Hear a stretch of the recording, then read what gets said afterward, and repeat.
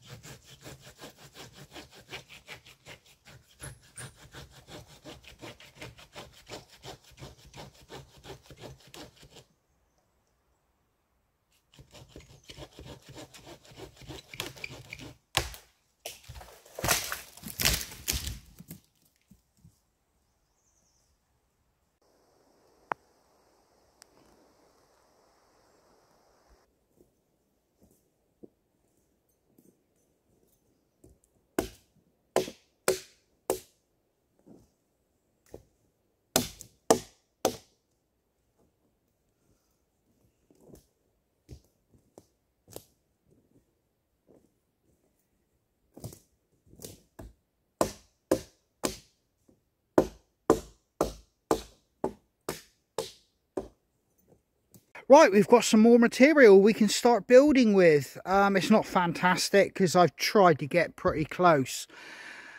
And as I always say, you look it out there and you think there's got to be hundreds of standing dead and stuff that you can use. But strangely, when you're building a structure, you start to get a little bit picky.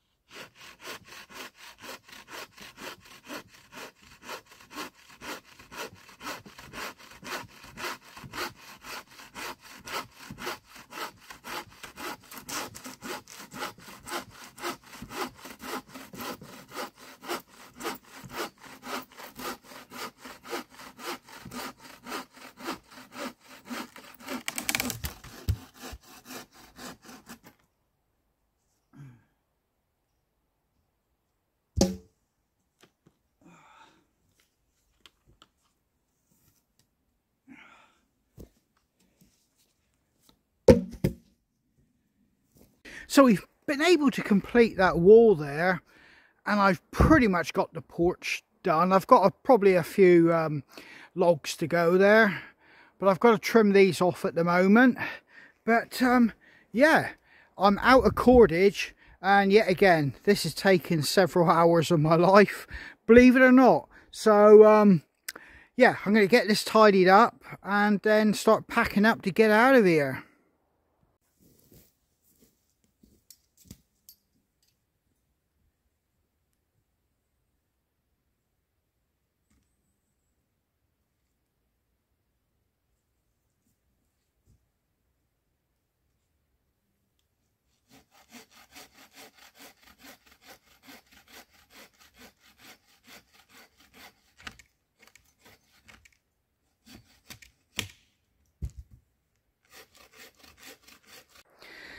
Now I'm looking at this bushcraft shelter and it's definitely bigger and more substantial than I possibly planned and that's borne out by the amount of material I've had to source and use. Um, it's going to be fantastic when it's finished but I can see I've got possibly another two or three expeditions into this woodland to get all the um, sides framed in before I can start putting the moss on and waterproofing it. So there's still a lot of work to do yet, but you can just about begin to see what it's going to look like. And there you go guys, you can just about visualise what we're going to have. Uh, just think of that covered in moss. Um, yeah, it's definitely bigger inside than, than it looks on film. It's, it is definitely, it's definitely beyond what you would classify as a survival shelter size wise now. So when this is completed, I can already see and feel this is going to be a really nice autumn, winter um, bushcraft location. Once I've got this established, my plan is to do a lot more in, uh, in the field of bushcraft, trying to make some forest furniture and things like that and, and utilise this as a bush camp. Um, but I'm still in the building stages, so it's all sort of like uh, talk at the moment. But I think we can all agree, you can see where this is going.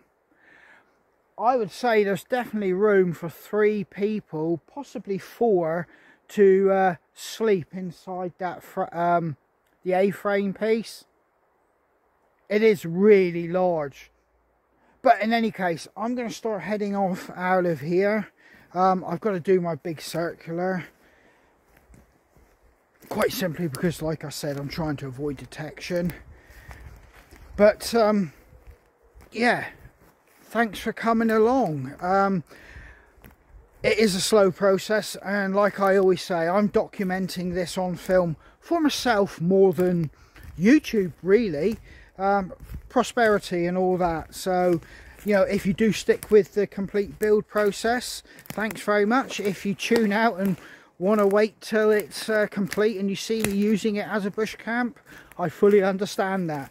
But, um, yeah, I'm probably going to film it in smaller and smaller bite-sized pieces because pretty much you can see what I've got to do there now and how I'm going about it. When I get to the point I'm doing that back wall, the apex wall, building that up, and putting the moss on, I will start filming again in more substantial chunks. So yeah, thanks for coming along and uh, take care, stay safe, and I hope to catch you guys out on the trail.